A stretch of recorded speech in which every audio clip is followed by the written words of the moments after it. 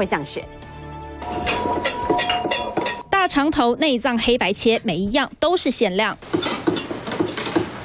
靠热汤蒸汽维持米苔木湿润度、Q 弹口感，万华老店飘香五六十年，在地人推荐。大肠头啦、猪鱼啦、脆皮肉安尼啦，像想讲要食一小汤，啊再来。早餐先来碗热的暖身，最强寒流袭台，气温将一路下滑。二十二号入夜到周三清晨最寒冷，北台湾预估长时间维持十度以下低温，连中南部都有感。加上清晨辐射冷却，到周六之前都要留意日夜温差。北部的比较内陆空旷的地方，金门跟马祖，甚至可能会出现六度左右或六度以下的低温出现了。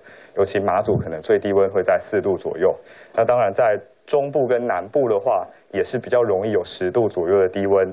在高平跟台东则大概在十到十二度之间。这波不止变冷，还会下雨。后云量从周一下半天开始影响台湾，周二特别不稳定。迎风面，基隆北海岸、大台北山区及宜兰防局部大雨。周三起转干，周四雨区集中东半部。在阳明山的部分，水汽的条件是已经达到，那只是说温度上，因为今天还在下降的过程。今天的入夜一直到明天的这一整天。